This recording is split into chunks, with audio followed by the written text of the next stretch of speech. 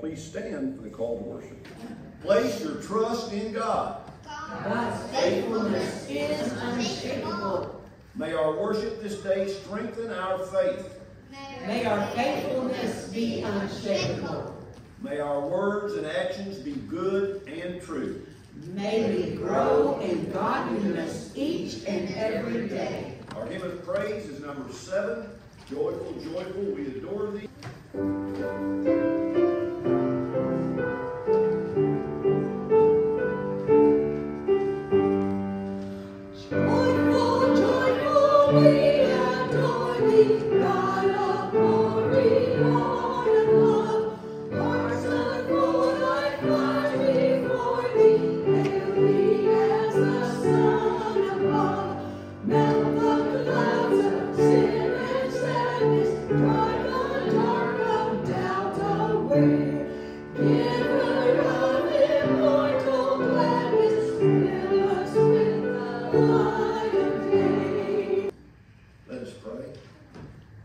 Place our trust in you, O God, for your love and faithfulness and steadfast and true. Breathe your Holy Spirit into our worship and your very presence into our lives, that our love and faithfulness may be steadfast and true. And hear us as we pray pray the prayer your Son taught us to pray. Our Father, who art in heaven, hallowed be thy name. Thy kingdom come, thy will be done, on earth as it is in heaven. Give us this day our daily bread, and forgive us our debts, as we forgive our debtors. And lead us not into temptation, but deliver us from evil. For thine is the kingdom, and the power, and the glory forever. Amen. The passage from James for today warns us that we must not show partiality, must not treat one person as more important than another. We're all adopted children of God. That's true everywhere, but especially here at the table. Sometimes we get it into our heads that our job is to act like a gatekeeper, to only allow the right type of person in. Our job is actually more like throwing the doors open wide and calling anyone who will come in. It's the Lord's table, not our own. Amen. Let us pray. God, whose love is deep and true for all people, we know that we only share a fraction of that love with our world. Help us to grow in that love so that we welcome all as you have welcomed all of us. We thank you for the example of Jesus who showed us how to love the outcast, the forgotten, and even the enemy. We thank you for this bread and cup, the symbols that remind us of how much that love cost you. As we take the bread and cup, fill us again with your spirit that we can grow in your love. In the name of Jesus Christ, our Savior, amen. Lord Jesus, on the night he was betrayed, took a loaf of bread and after he gave thanks, he broke it and said, This is my body that is for you. Do this in remembrance of me, the body of Christ broken for you and me. In the same way, also, he took the cup after supper, saying, This cup is the new covenant in my blood. Do this as often as you drink it in remembrance of me, the blood of Christ shed for you and me. For as often as we eat this bread and drink this cup, we proclaim the Lord's life, death, and resurrection until he comes. This is not my table. This is not the church's table. This is God's table. And all, all are welcome to come home. All are welcome to come forth and partake. Let us feast. All right, my friends, here we go. We got to turn it on. All right. Here we go. We are reaching. We are reaching for God. God is reaching for us. We are reaching out to each other and we are reaching out to our community. And remember that this is an acronym.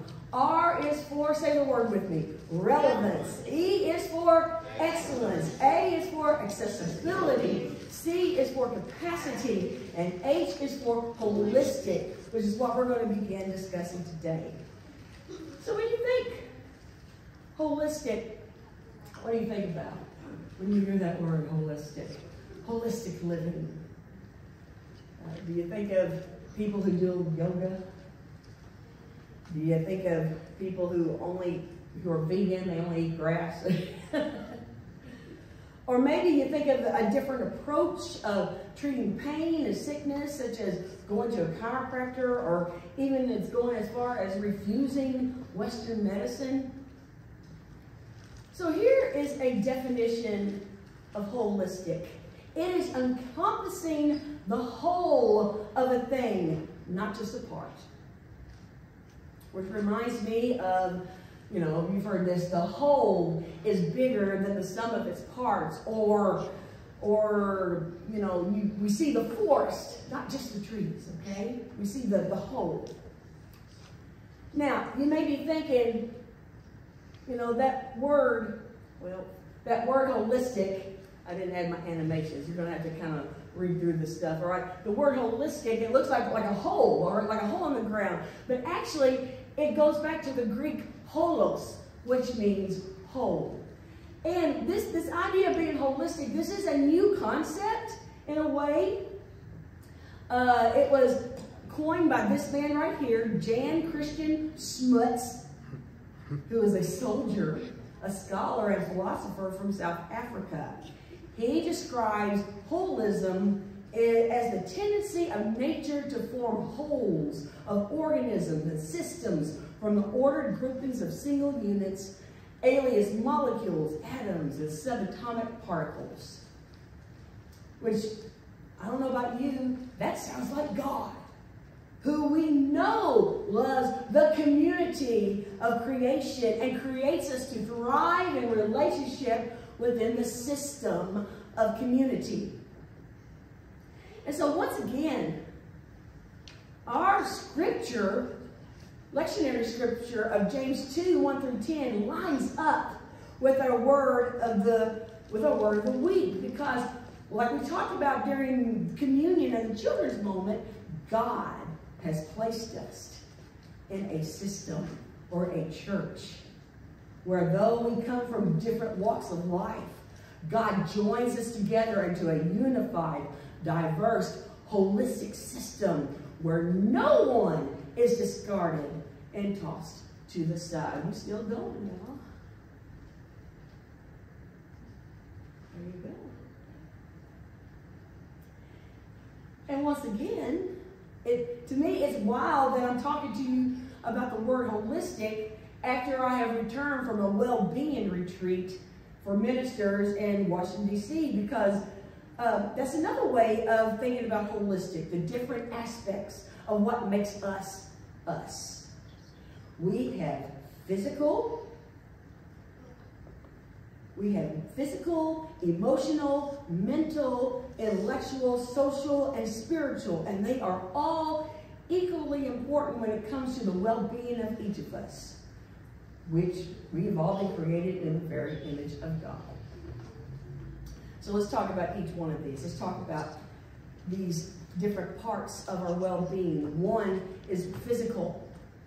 That is the flesh and bone part of our being. That's the part that allows us to move through the space and, and interact with the environment, with our senses. And then we have the mental.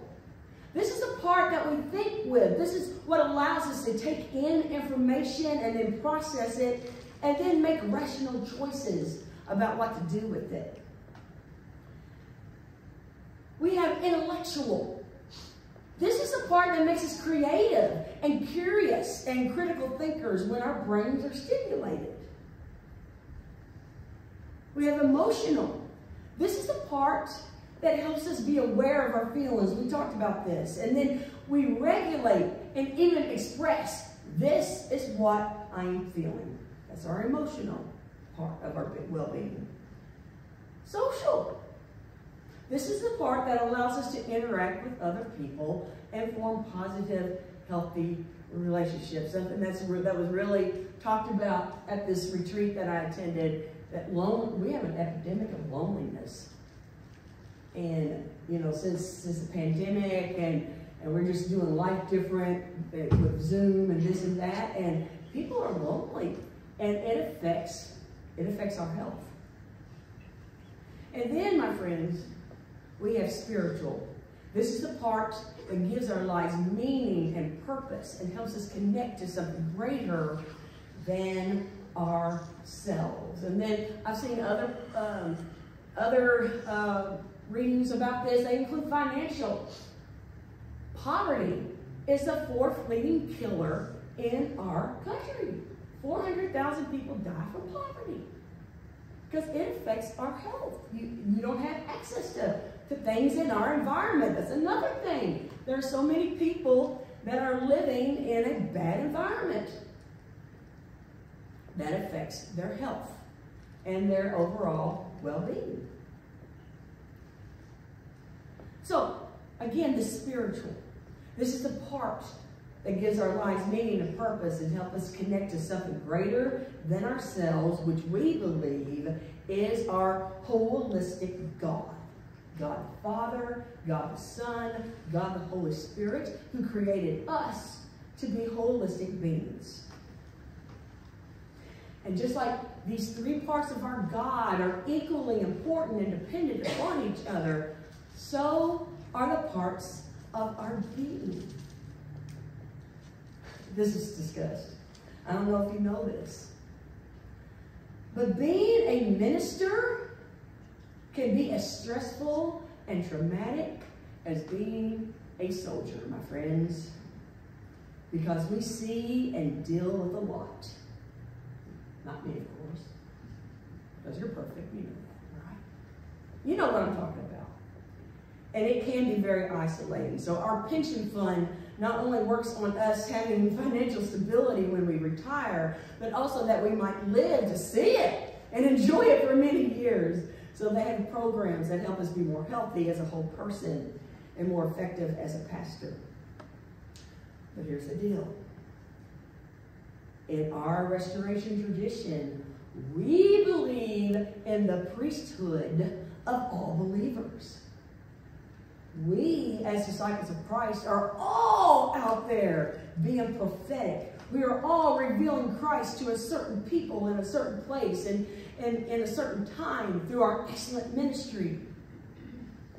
And we are constantly trying to build our capacity, you know, get rid of the things that are weighing us down so that we have the capacity to do good. And this is stressful. And it can do a toll on your well-being, which is not God's will.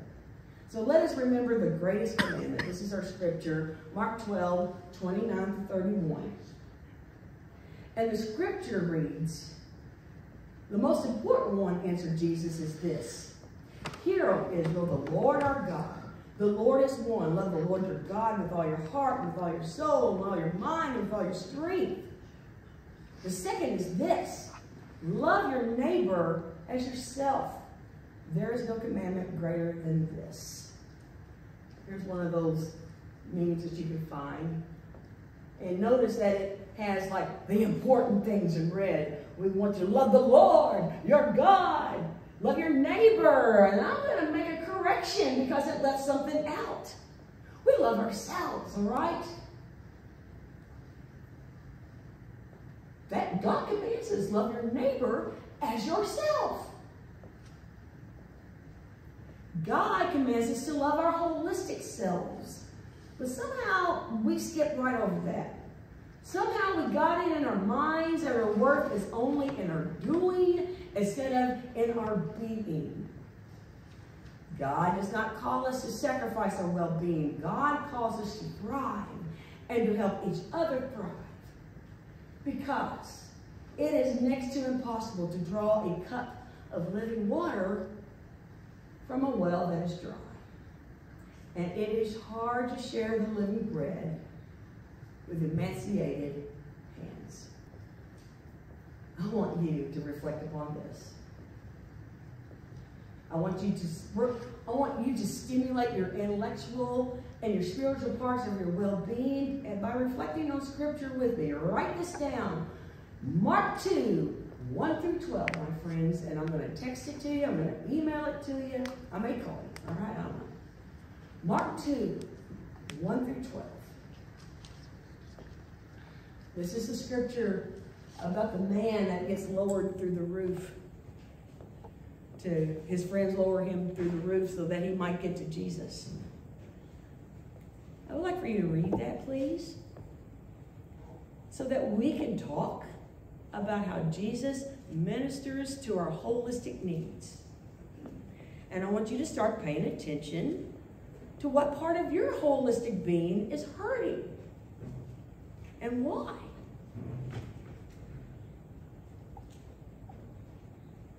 Because why, why do we need to do this? Because God commands us to love ourselves. And, and why is that?